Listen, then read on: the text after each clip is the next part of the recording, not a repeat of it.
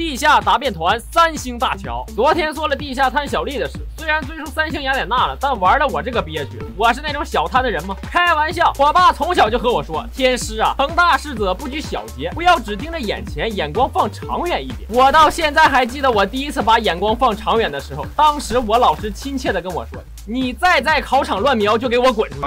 追踪更多精彩内容，三连支持一下不迷路。代谢增速器三地下开局，可以说是地下完美的开局之一了。还有二星钟馗，完美。第一局输一张掉两滴，代谢回两滴血，里外里一滴没掉，我还走了三步地下啊，就是白嫖。嗯，真好。super 大戏。回来二星 EZ 再给个吸血书，连胜我们到大选，大选我们捡垃圾，回来拉五上腰指音。这局 AI 的效果不是很好，就当个过渡就完了，直接连胜来到。野怪，这波啊，这波是反向塌房了。野怪环节天使也二了，指甲虫给了腰带和大剑，直接霸者钟馗啊顶就完了。五连胜来到第二凯克斯，二费和三费的专精装，那我知道找谁了。哦，来了，哎嘿嘿嘿，地下魔道团啊，不是连胜的我不玩啊。八连胜的地下答辩团，搞得我代谢增速器都没处用，来制裁制裁我好不好啊？啊，制裁了又怎么样？我还不是回上来了？啊啊！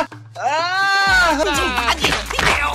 对不起，大哥们，对不起，我错了，我错了，别梭哈了，我求你们别梭哈了，我再也不装了，别打了，别打了，别打，扛不了了，孩子扛不了了，我浑身难受，赶紧拉九拉九，上几张五倍卡，我错了吗？我哪儿错了？我现在已经算九五了，收了地下追个三星五倍，我是肯定吃鸡。姐，你先让一让，我这边还暂时不需要你出场，我浑身难受。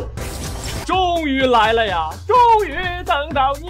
下面就是我最喜欢的梭哈时间了。Later，一堆五费卡，大乔差一张，怎么递也递不出来呀！外面没有人卡我牌，我有预感会是在大雪。只要我能撑到大雪，就绝对能三星。两滴血也太刺激了吧！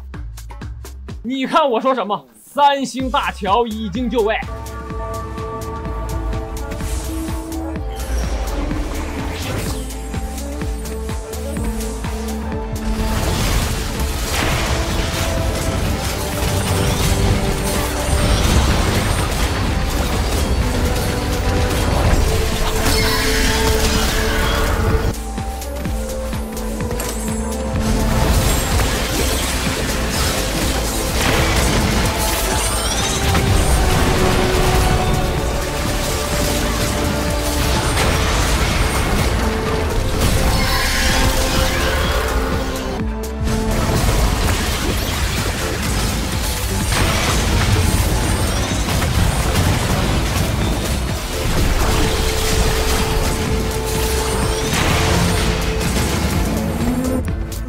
上上期地下两种玩法我是都试过，我还是比较喜欢第二种玩法，因为很刺激，比起稳健运营更有成就感。是。